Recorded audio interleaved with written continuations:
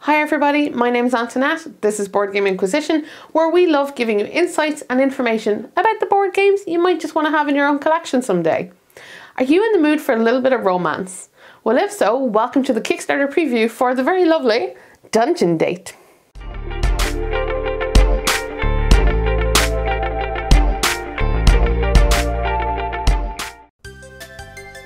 Dungeon Date is a game about building a stylish outfit and using it to romance, befriend, or slay a dungeon full of monsters. On your turn, you reveal an action card, so you can interact with a monster. And match symbols to befriend, romance, or slay them. Of course, all for loot. You can use the Stylomancer to update your look and even backstab your friends and claim their monsters. The winner is the person with the most points from monsters and style symbols at the end of the game. Thing 1. What's this game all about? So Dungeon Date will fall into the category of other similar dungeon titles where you go deep into the bowels of the earth and you slay monsters and take their equipment to improve yourself to slay further monsters. Um, however, this game takes an interesting twist in which there are other ways to defeat monsters other than using your weapons. So for example, you can both befriend and romance monsters in this case. Um, and how you do this is based basically on your outfit and your style because you need to be dressed appropriately to be able to deal with and interact with specific type of monsters. Um, I think this is a really fun and innovative take on dungeoneering. Um, I love the idea that you don't have to kill a monster if you don't want to. There is another way around this altogether. Um, and I really feel as well like the mechanics and the theme blend together rather nicely as you're scrambling to equip different outfits using your Stylomancer um, so that you can, you know, engage with further monsters. Um, like overall, this is a really fun and entertaining theme and a fresh one too. I, I really enjoyed it. Now for similar games to this, I can't help but be reminded of Munchkin, where you're trying to scramble to get as much of your equipment as possible to help you take down the monster. But this one definitely has its own unique sense of style and a different approach to how we normally deal with monsters in dungeons. Thing two, what kind of actions are you going to be performing on your turn? So this is definitely a tableau builder meets set collection kind of affair. And on your turn, there'll be a series of monsters that you're going to want to capture to get their loot. Um, and they will require specific symbols depending on how you want to interact with them. And it's up to you to have those symbols in your equipment sets so that you can claim them for yourself. Um, to be fair, everything about this game is simple and straightforward. Um, it's all, you know, laid out nicely in front of you and fairly obvious. But it does have a couple of really intelligent touches I thought I should tell you about. Um, so the first of these being that when you choose your action on a turn, it's secret. You have a little handful of um, actions to, to determine which part of the board you're going to interact with, the monster A, B, C, or the Stylomancer. Um, and you do that secretly, which I think is cool, um, which also means that you can somehow end up, you know, in battles for, you know, monsters and things like that. And you can fight other players. Um, and I think that's a really cool idea that you keep it secret so that not everybody knows. The other important feature of this is that whatever action you've chosen stays down on the board for a round. It doesn't go back into your hand immediately, meaning you can't perform the same actions back to back for the whole game. And I thought that was a really nice touch actually. Um, the second thing I'm gonna note is the actual Stylomancer itself is really, really clever because yeah, this is a game in which you're gonna wanna change your equipment often um, and so you're going to need to do this every so often. And I like the fact that it reminded you that there was end game scoring during the game. So maybe you might wanna pick that up, it might be important. I kind of like that poke in the ribs. And finally, the other action we've not talked about is backstabbing. Yes, there's a backstabbing action in which you can kill one of your opponent's monsters and add it to your own pile. Um, that's pretty serious stuff, right? Um, you can see why I got the Munchkin vibe right there. Um, it's interesting how it's done because if somebody, you know, manages to take a monster from you, then they have a spite token, which means the next time they go to do something, they're doubly strong.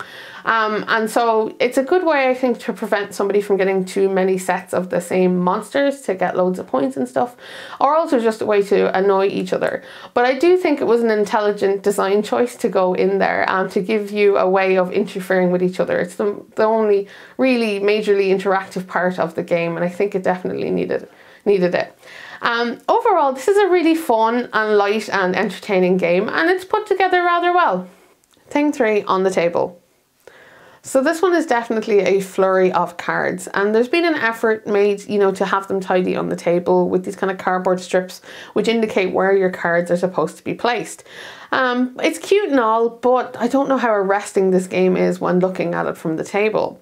Um, the good news is, however, it's very quick to set up and quick to put away. And for two of us, it takes about 20 minutes to play.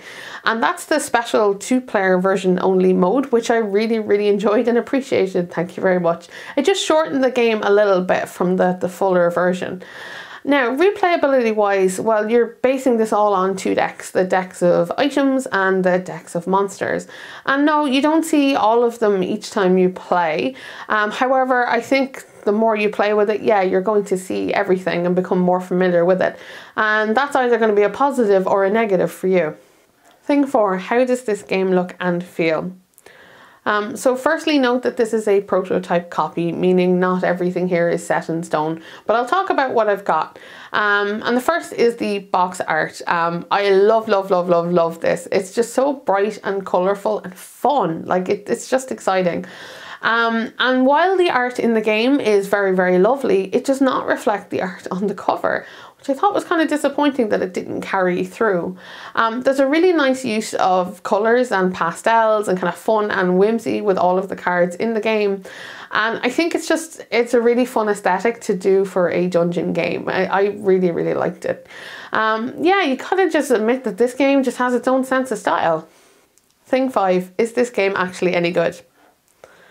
Well, in all honesty, I've kind of fallen in love with kind of the theme and the idea of Dungeon Date. Um, like, it's not every day you can say that you go down into the dungeon, you interact with the monsters, you get their items, you can come out on top, all without necessarily having to be violent. It's pretty unusual. I just think we're so used to the idea that we should be looking for the weapon with the best stats to kill things that for me anyway, it felt very refreshing to suddenly look at my equipment in terms of somebody other than myself. Because in this game, your equipment is for what the monsters want. And by proxy, it kind of means that the monsters are something more than just objects for you to slash your way through. They have kind of wants and requests and desires in some cases. And I found that kind of interesting. Like the notion of swapping your clothes like you would normally, I guess, in any dungeon scenario, you know, where you're swapping your equipment to be the most optimal. Um, the notion here carries through that yes, you're swapping your equipment and stuff, but not to make you better, but to um, be able to kind of befriend and you know romance others and it's it's kind of a fascinating thought isn't it um, yeah, I really liked where this is going. I liked that I could look at dungeons and think about it differently. I also like that we could look at monsters and look at them differently too. That there was more than one way to do things. Um, and I, yeah, I really, really liked it. Now, on a whole, this game is pretty simple. It's pretty straightforward. Um, there's very little progression here. Um, if anything, the game very much remains on the surface. There's no deep strategic thinking here. Um, however, it is very fun. It's very well put together. Um, and it's dungeons done differently. And I really like that. Do I think you should have Dungeon Date in your collection? Well, I think if you've not been a big fan of previous dungeon titles, well then this one's definitely a departure from that. It's fun, it's bright and it's innovative, so it's well worth looking at. And it's coming to Kickstarter on March the 16th, so keep your eyes peeled for it. You've been watching Board Game Inquisition. Why not like or subscribe to the channel so you can get updates about my future videos? Or if you've got any questions or queries about Dungeon Date, why not shout them off in the comment box below. And until next time, tune in again for some more short and informative board game reviews.